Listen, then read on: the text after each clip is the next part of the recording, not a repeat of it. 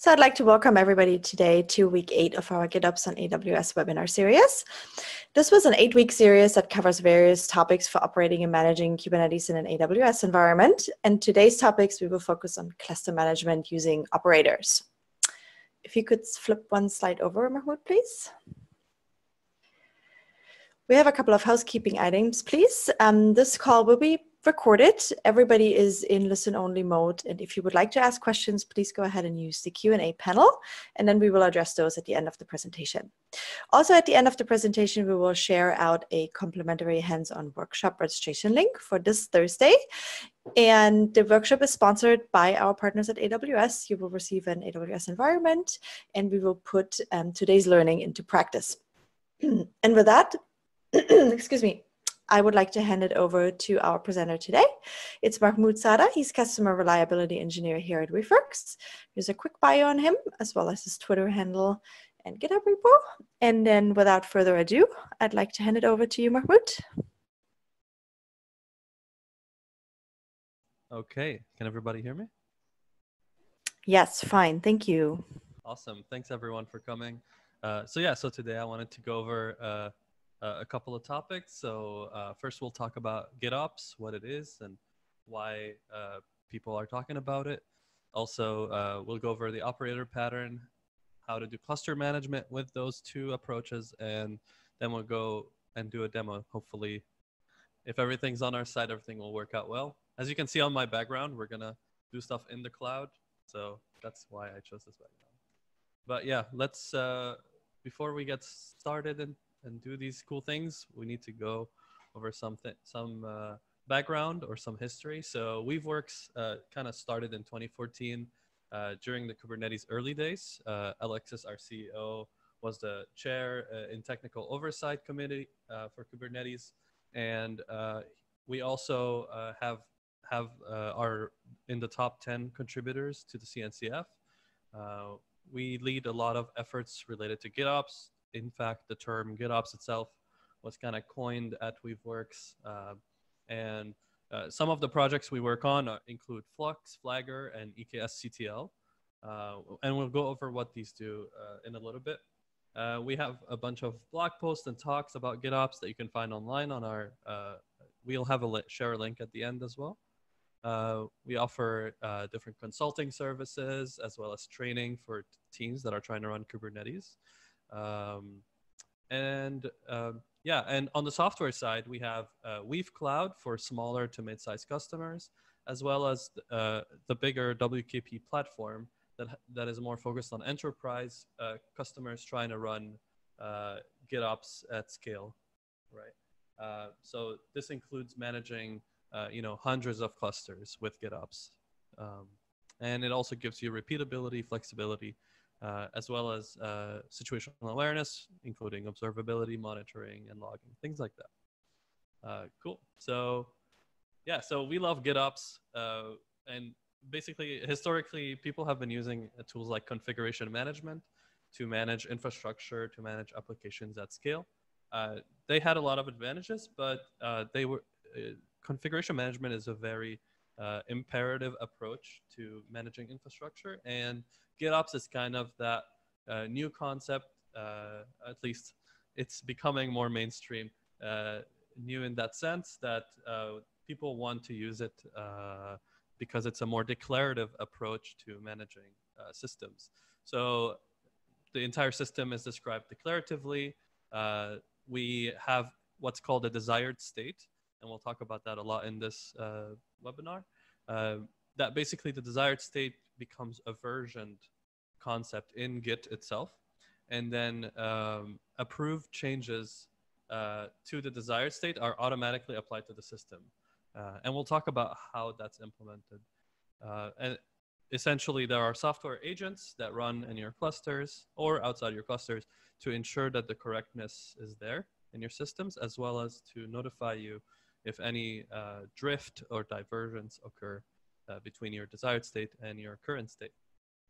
And this is another way to look at it. Uh, on the left, we have what I guess we would call the continuous integration or the developer experience, where they submit code changes to Git, they go over some tests, like uh, maybe there's a system that does the testing, building, and publishing, and then um, we make another change to Git to uh, propagate that change to our deployments. So whether it's deploying clusters, the infrastructure itself, or the applications, uh, as well as the monitoring, logging, and the operations themselves.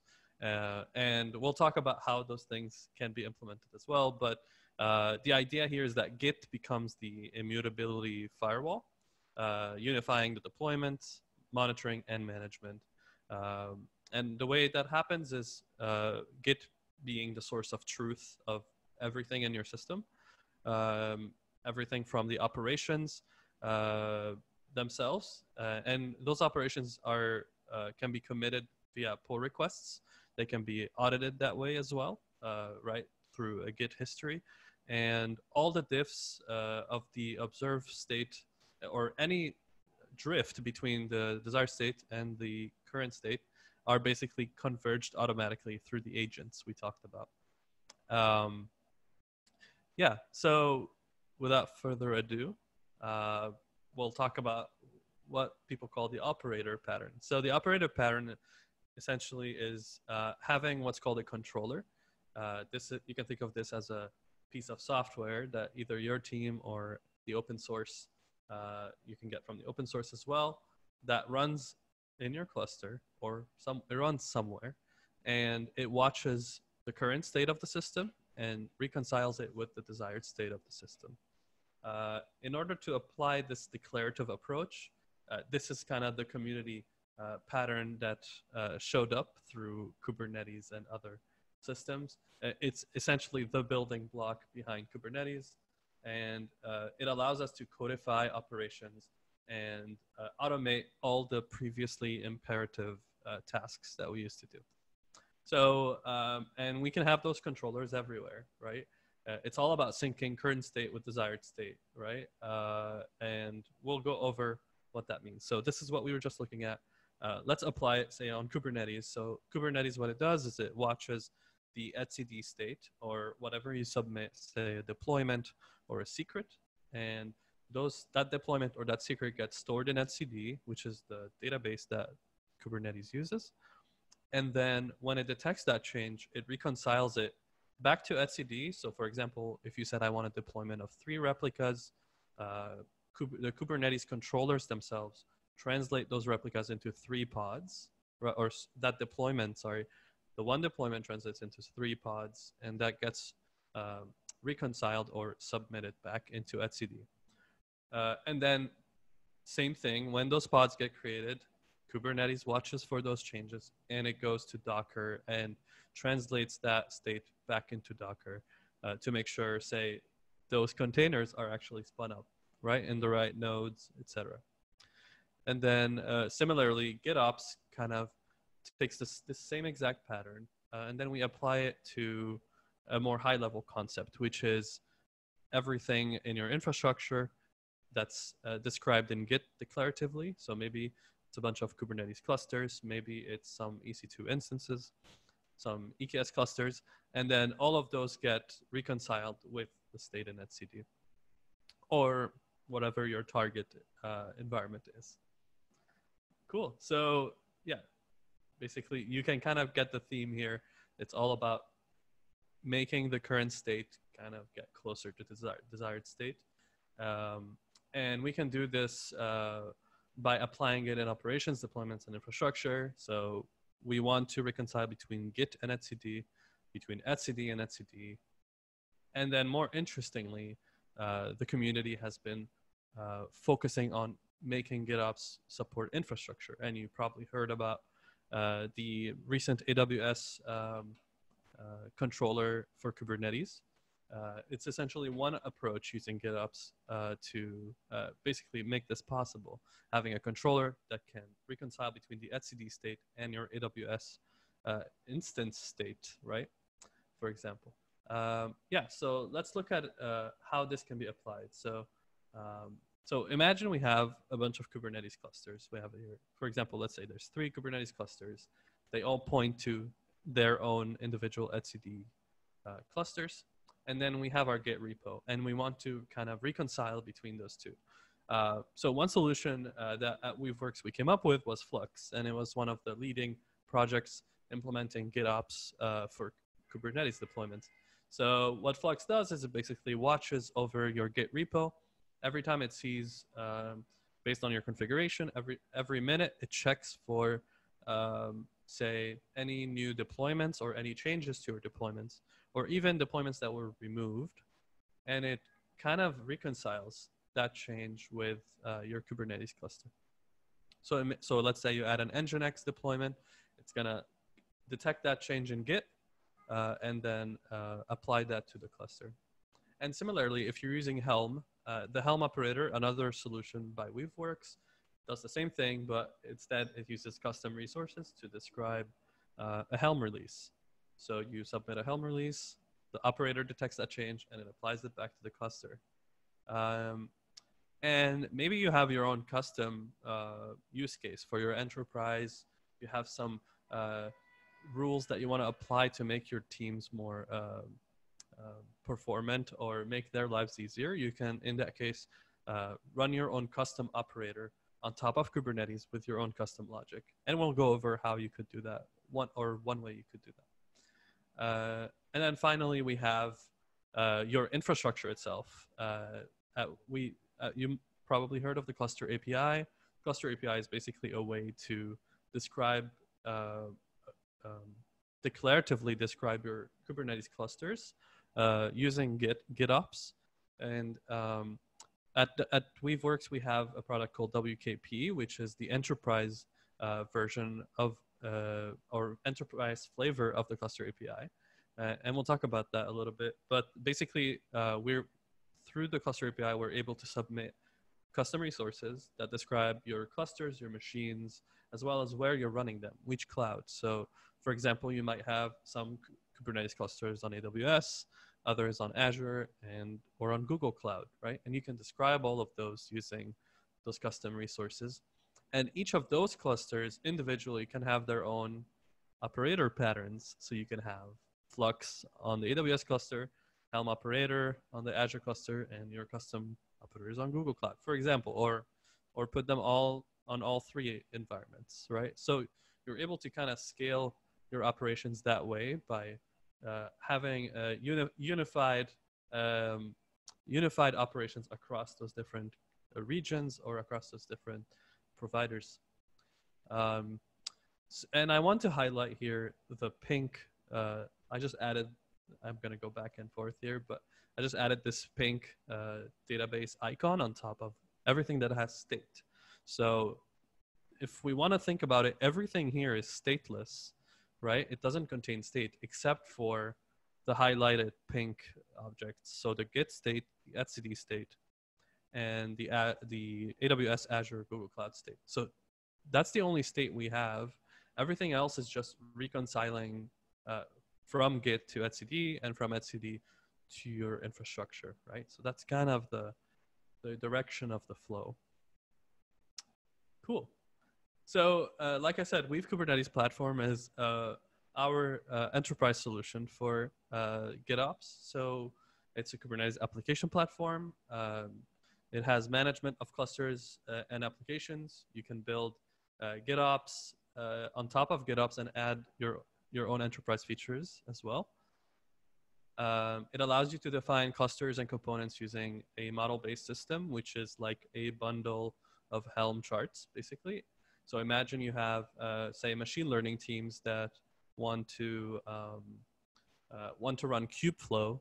So you can have uh, a model that describes uh, or a profile that describes uh, the machine learning cluster, and any machine learning team or developer can spin up their own clusters uh, pre-configured with the right best practice so that they can run their machine learning jobs, right? So um, and also, uh, WKP allows you to deploy new clusters using um, uh, those exact definitions uh, towards multiple backends. Um, and we have uh, alerting and operations uh, built in. So you can kind of have observability uh, right, right away from your clusters.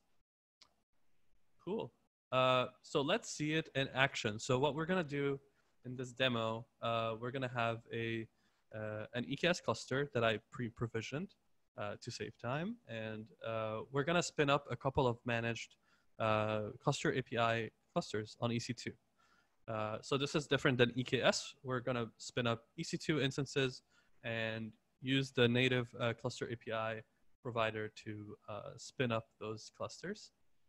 Um, and then if we have time, we're also gonna show how we can sync uh, our GitOps operations across these two EC2 clusters, as well as a kind cluster that will run locally. Uh, so uh, yeah, so let's jump into the demo. So hopefully everyone can see uh, my screen. So what I have here is um, I have my uh, a repo called GitOps Cluster Management. Uh, and in here, uh, we have a couple of manifests that we're going to describe our system in. Um, so we're going to have a examples uh, repo so, uh, or examples directory. And here we have the different things we want to try deploying to those clusters. So for example, I have an Nginx pod. We're going to see how we can use GitOps to deploy this pod, uh, as well as some custom operators. So I have operators that I wrote using the shell operator. sorry, the shell operator. Um, and I go over this in the workshop, how to actually write those operators. Uh, but for now, let's assume we already built it and uh, we just want to deploy it. So we have a, a namespace for them. So we have a, uh, this operator, what it does is it copies secrets across all namespaces. So if you put a, um, a secret in the default namespace, it will spread it across every namespace. So uh, here we create the secret copier namespace for the operator uh, and a pod to run our custom operator itself. And finally, some RBAC rules to have permission to secrets, to get secrets, list them, etc. Awesome. So what else? Uh, so yeah, a, bunch of examples as well, CNI examples. So maybe uh, you want to deploy Calico to some clusters or WeaveNet to other clusters, right? Uh, so for now, this this is just a, a, set of examples. Next is we have our uh, EC2 EC2 and management directory. So what we're going to do is we're going to have uh, Flux running in our management cluster, and that management cluster is going to store all uh, uh, basically our. if we click here, we'll see we have a clusters directory, and this is the description of one of the AWS clusters we'll spin up. So um, yeah, and we'll go over those examples in a bit. So let me switch to my editor. So, and I'm gonna spin up a, or let's go to the terminal actually. So right now, uh, you you can, hopefully you can see my terminal. I have k as an alias to um, uh, k as an alias to kubectl. So I'm gonna run k get clusters, and right now I'm pointing to my EKS cuddle cluster uh, or EKS cluster that I spun up. And we can see that here. Um, if I go to EKS. So we'll see that I already pre-provisioned this. Uh, oh, sorry, it's in a different region. Let me quickly switch here to US East 2. There it is. So I have this Mahmoud webinar. It, that's the cluster that we're going to treat as our management cluster, essentially. Uh, and so what I have here is there's nothing running currently in the default namespace, uh, but there is this get clusters uh, that shows up here. So what is this? This is a custom resource that the cluster API uses. Uh, and the way it was uh, installed onto this cluster is through GitOps, meaning it was a simple git commit that was added for this cluster to be created. So how does this work? So I have a um, so I have a way to spin up um, Flux itself. So uh, the way this works is I have a Bootstrap script that I ran. So let's go over it real quick. So what I ran here on this management cluster is uh, I do some validation here to make sure you have all the credentials set.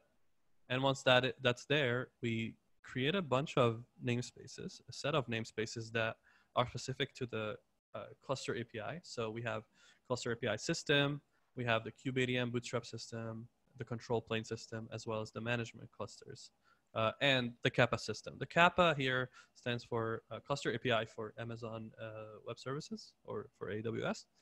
And basically, that's where our Amazon controller is running. And that's the logs that we're kind of uh, following down here. These are logs from that controller that we're listening in on. And then after that, uh, as part of the bootstrap, we spin up Flux itself. So this is the management Flux that's gonna, it's the operator that's gonna watch our Git repo.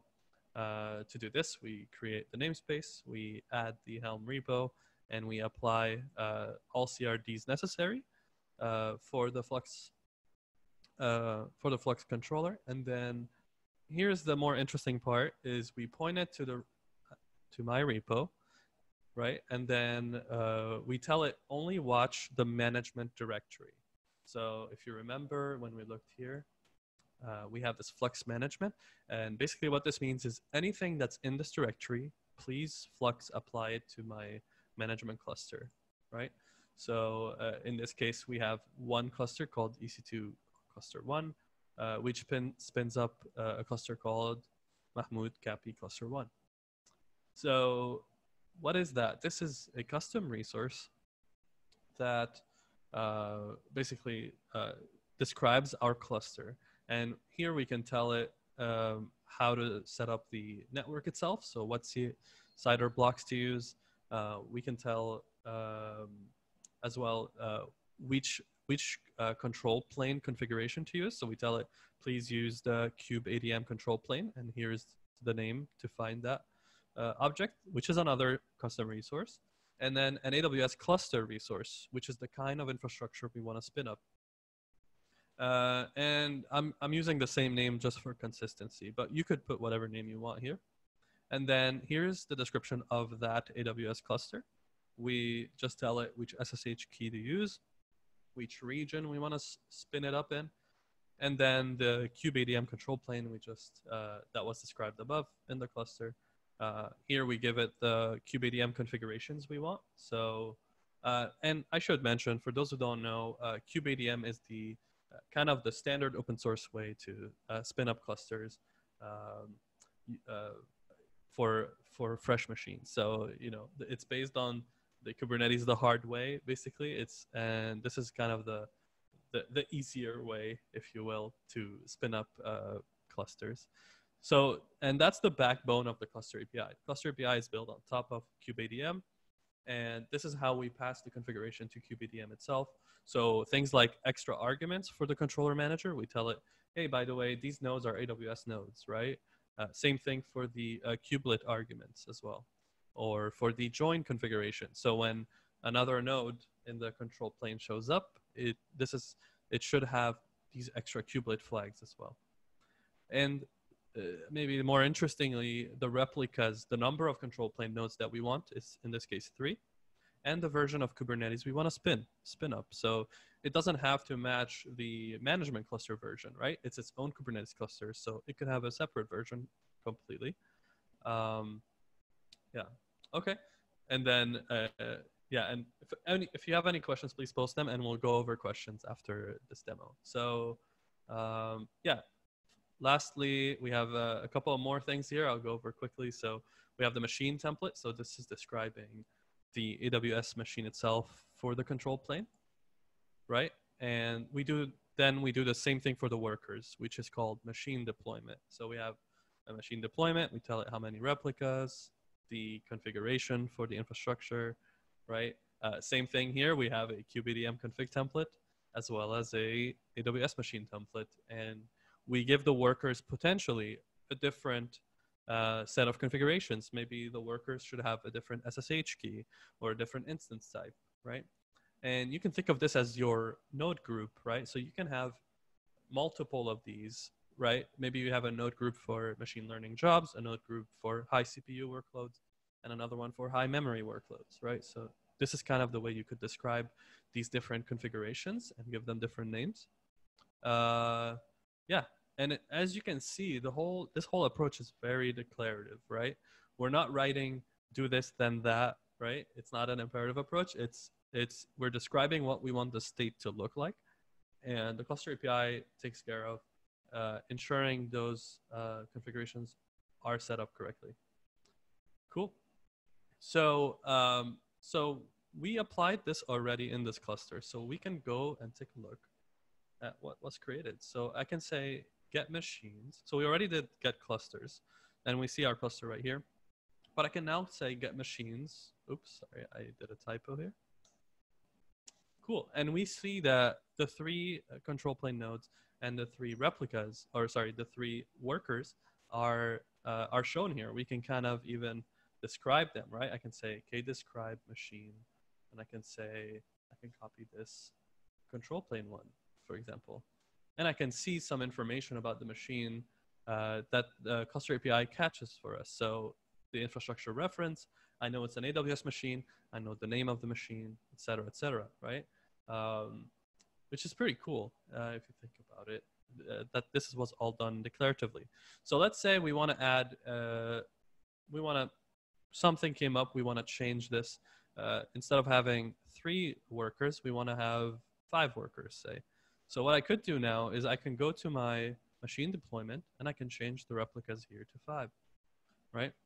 And then uh, let's say that we're in an organization that follows, you know, pull requests, uh, pull request, um, you know, access control. So what I could do here is I could say, okay, I'm gonna create a branch. I'm gonna say scale up to five nodes or five workers. So that's the name of my branch. And I'm gonna add the flux management directory. Git commit. I'm gonna say the same thing, scale workers to five. And then finally, I'm gonna say git push or git push uh, origin with the name of the branch. So effectively here, I'm, I'm simulating what it could look like to make an infrastructure change. So I basically create a pull request. I'm saying I'm going to scale worker to five. And maybe I can choose a reviewer here and say, hey, someone with enough permissions has to approve this change essentially. Uh, oh, I think I clicked twice here. So let me go here. Okay, so imagine now the administrator of the infrastructure or the team that manages infrastructure can see this change from anyone in the organization, kind of look at the change itself and say, oh, I see what you want to do here. Maybe write some comments. This looks great, right? And then start review. And then I'm going to say, let's say, looks good to me, right? I guess I can't really approve my own pull request, but hopefully this this gives insight on if I, if someone else in the organization did it, they would be able to approve it. And then if you set up some permissions here, uh, only certain people are, will be able to merge to master. And then once we click merge, uh, what we expect to see here, let me switch here to Weaveworks email. And then what we expect to see here is behind the scenes, uh, we have the Flux uh, pod running. So we can see this in, uh, if you remember, we, we spun it up as part of the bootstrap. Um, so you'll see here that we have, uh, well, first of all, a couple of things happen. We see in the logs here that the CAPA system detected uh, that there's new machines requested and it started spinning up these machines. Uh, and all this happened through just the git commit, right? So if I say, okay, get machines now, we'll see that there's two machines that are being provisioned, right, from the CAPA system itself. And we can kind of watch that and watch it happen. I can go to the UI. Uh, let's switch regions here to US East 1 because that's the region we chose. And I go to EC2 and we can kind of see, we, we expect to see here. Uh, let me write Mahmoud. Yeah, we expect to see some nodes show up. And indeed, there are two initializing instances that should match. So we can see P9B8 here. Uh, we sh it should match the one here. Oh, so this is a different ID, I guess. So we have to describe this machine here. So I'm to describe machine to see the AWS name. So, oh, there it is, P9B8C, right? Which matches this exact one. So that's kind of the flow that you can expect with uh, um, the uh, cluster API. So it's a declarative way to describe your infrastructure, describe your Kubernetes clusters through GitOps. Um, Okay, so let's do one other thing. So let's say we want to. So this is kind of the how how you could manage, uh, you know, lots of Kubernetes clusters using GitOps. So what if we want to do something different? We want to. So we mentioned there are these operators, right? Uh, so maybe I want to deploy on my management cluster a couple of other things. Maybe I want to. Um, well, first we could spin up a second cluster. So let's let's do that. So I'm going to copy cluster two from the examples, and I'm going to paste them into the uh, clusters directory. So there it is. And let's go ahead and let's switch to master now. So we've already, I already showed you guys how to do the, uh, how, how we can approach the pull request uh, uh, system.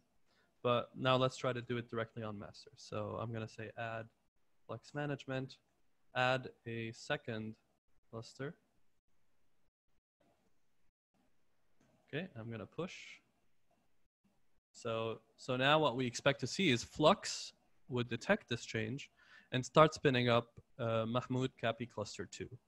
That's kind of what we, we hope to see. And Flux checks every minute by default.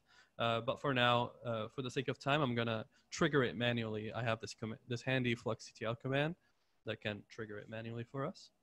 So we can see that the logs are, are very active.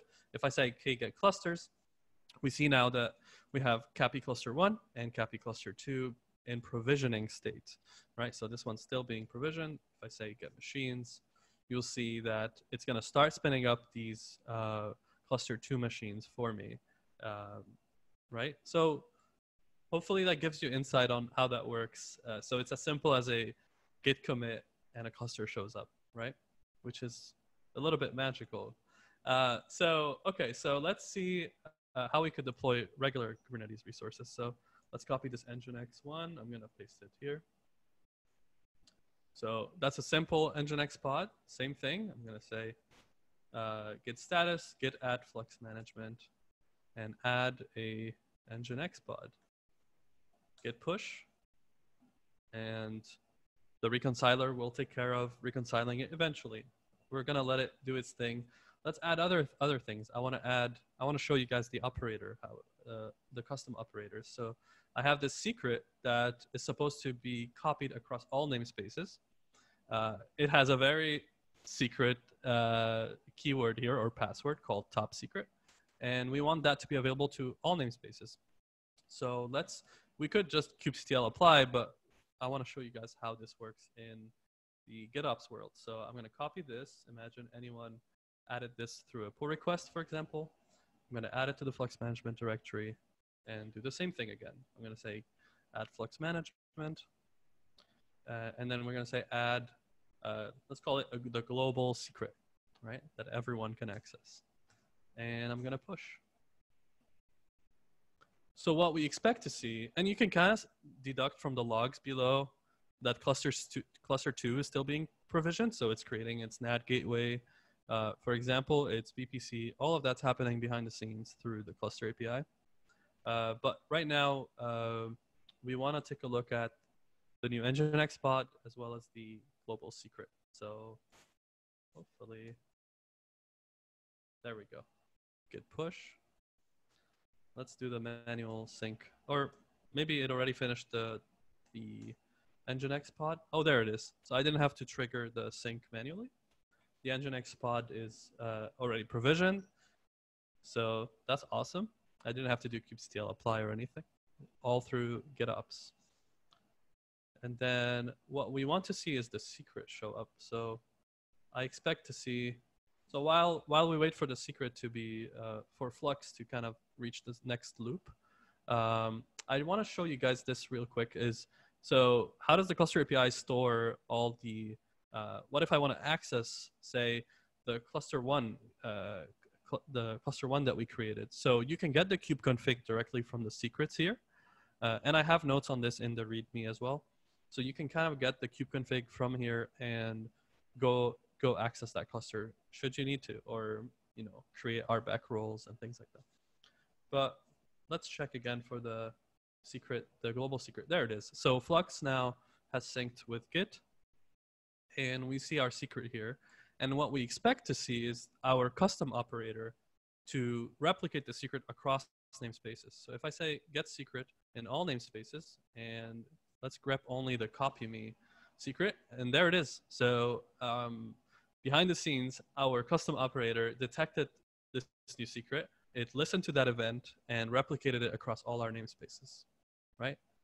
All of this was through one file that we added, which is this one, right? So just by adding a custom label that the operator listens on, it was able to detect that and replicate it across the cluster. Great. Um, I don't see any other questions coming up. Um, I think there's a couple of follow-up resources that we can share out to you. Um, we do have eksctl that we went over available. Here's a public um, link for that. There's also some um, collateral that's available on our website around automating Kubernetes with GitOps for somebody who wants to have a more brochure-like material on hand. Um, there's also a couple of um, instructions on our blogs. So if you have a look at that, um, and then I also wanted to shout out to our podcast. Um, that's actually with our CTO Cornelia Davis. We have some interesting episodes um, published every two weeks um, with guests from, for example, BlackRock that will talk about Kubernetes and general modern operations around infrastructure. Cool. And with that, um, I think that's a wrap. So thank you very much, Mahmoud, uh, for today, for your time. And then we hope that we see you all on Thursday. Thanks so much. Have a great day. Thanks, everyone.